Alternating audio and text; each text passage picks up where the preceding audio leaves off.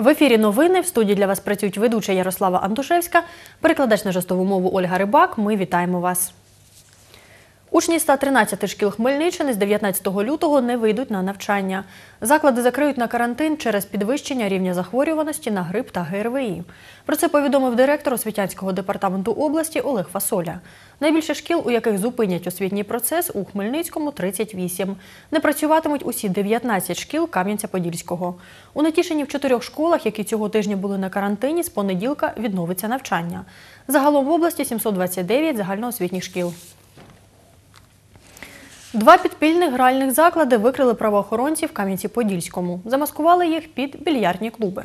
Та жодного столу для цієї гри у закладі не було, повідомив керівник місцевої прокуратури Віталій Гриньків. Під час санкціонованих обшуків у приміщеннях правоохоронці виявили та вилучили 13 одиниць комп'ютерної техніки. Наразі тривають слідчі дії зі збору та фіксації доказів. До суду скеровано клопотання про накладення на вилучене майно арешту. За даним фактом відкрили кримінальне провадження.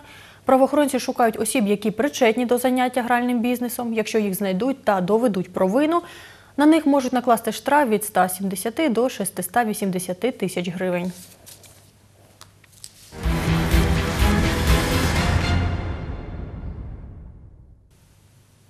Двадцять малозабезпечених та багатодітних родин Хмельницького отримують набори побутової хімії від благодійного фонду Карітас. Пакунки почали роздавати напередодні Всесвітнього дня спонтанного вияву доброти. Частину подарунків розвезли у домівки, де мешкають ці родини.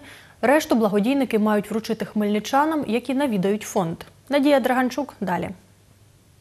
Наталії Лівадар 27 років. З двома синами жінка мешкає у кімнаті гуртожитку в мікрорайоні Ракове на 15 квадратах. І кухня, і спальня, і ігрова. Наталія розповідає, кілька років тому з чоловіком жили у селі Нова Гута Новоушицького району. Та каже, довелося розійтися, бо чоловік знущався зі своїх дітей. Чоловік не проживає 5 років, і він не допомагає. Він був судимий за дітей, пік дітям руки. У мене дитина боліла епілепсія. Семирічний Андрій та восьмирічний Віталій зараз навчаються у Хмельницькій спеціалізованій школі-інтернат. Діти мають дефекти мови. Наталія знайшла роботу в рибному цеху. Працює 4 години на тиждень. Дохід сім'ї мізерний, каже жінка. Допомагає лівадарам бабуся Ольга Бандуляк. Та каже, навіть спільними зусиллями налагодити життя важко. Нам треба ліжко двохярусне, не знаю, може би десь через інтернет, щоб десь купити його. А так, е, ну діти хворіють. Діти хворіють, бо що вони навчаються в школі інтернаті, в них вада мови, е, не можуть вони говорити. Ну і навчання дається важко. А так, а так навіть не знаю, що, що далі. Наташі би знайти якусь роботу хорошу. Допомагати Наталі з дітьми взялися представники благодійного фонду «Карітас». Вже неодноразово приносили продукти та речі. Тепер же подарували побутову хімію. Хто це знає, що це є? Порошок. Порошок, так. Да. І це ще один порошок. А що ми любимо цього? Що це є? Пас. Паста. А що з неї треба робити? Зубчик. Зуби чистити.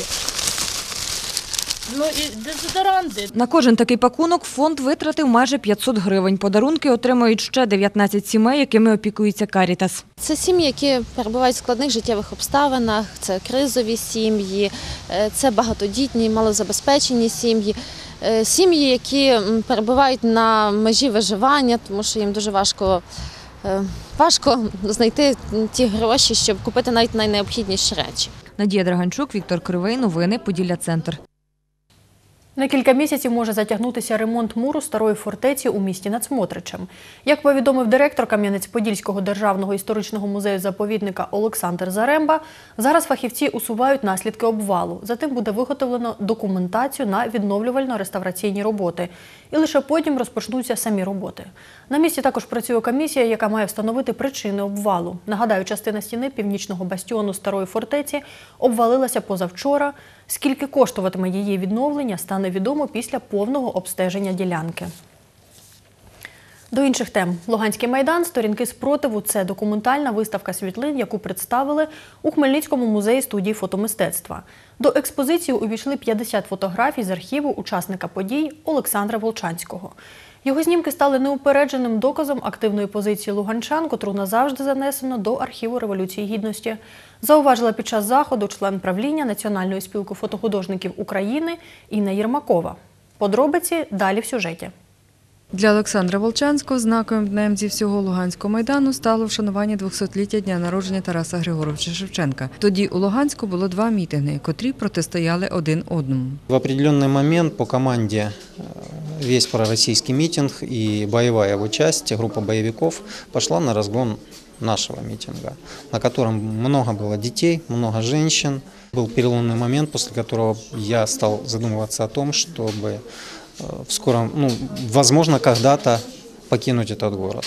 Ідея створення виставки у Олександра Волчанського виникла з моменту його переїзду з Луганська. Він каже, весь архів фото, який він зробив протягом року на Луганському майдані, зберіг. Але можливість показати їх глядачам з'явилась нещодавно. Із 7 тисяч фото він відібрав 50 і створив експозицію. Фактически это тот э, хроника Луганского Евромайдана, начиная с первого дня, с первой акции, э, 20, ну, с моего первого посещения Евромайдана, это 24 ноября 2013 года, и заканчивая последней акцией громадского сектора Луганского Е- Евромайдана, это- это 28 ап- апреля 2014 года. Знімки автора, каже представниця Національної спілки фотохудожників України Інна Єрмакова, стали неупередженим доказом активної позиції луганчан, котру назавжди занесено до архіву Революції Гідності. Дуже важливо було показати, що люди там не мовчали, тому що є в суспільстві певна така певний закид, що люди винні в тому, що відбулося на сході України,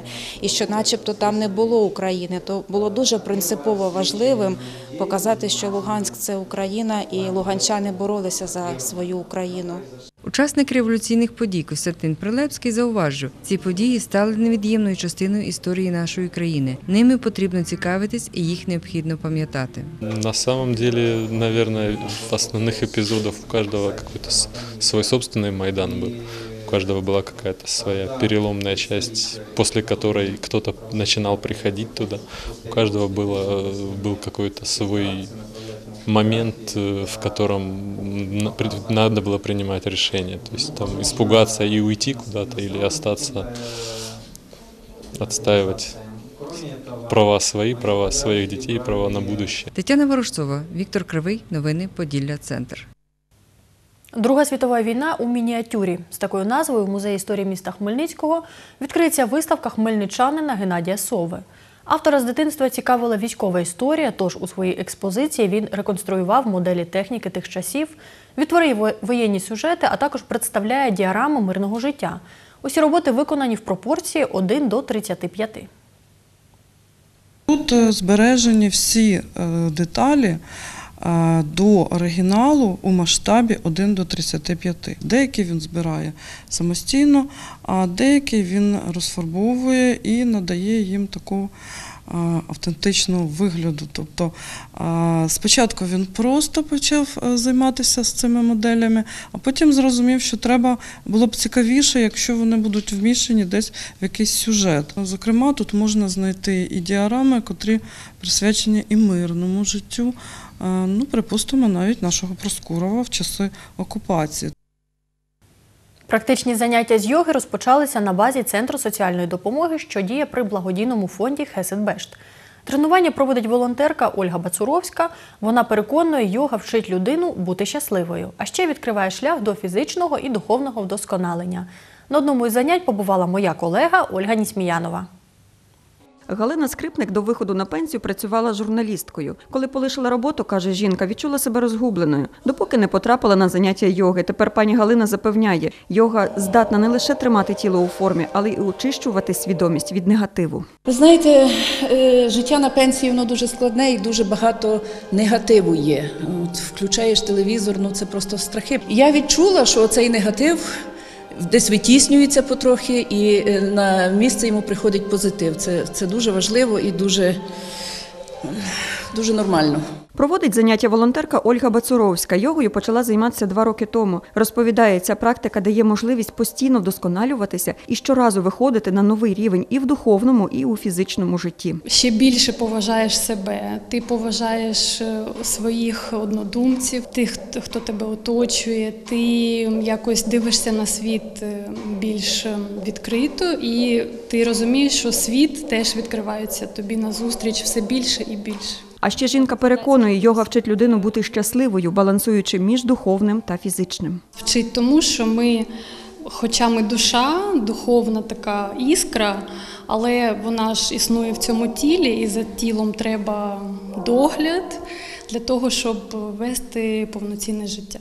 Ідея створити клуб поціновувачів йоги у Хесетбешті виникла кілька років тому, розповідає менеджер з інформації В'ячеслав Нагнибіда. Цього року заняття розпочали. Зараз цей клуб складається е, е, із таких двох груп учасників. Тобто, в денний час, е, от якраз зранку, це займаються переважно люди літнього віку, які вже знаходяться на пенсії.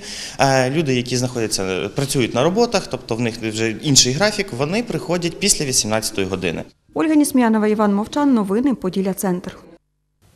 На цьому ми завершуємо випуск. Побачимось.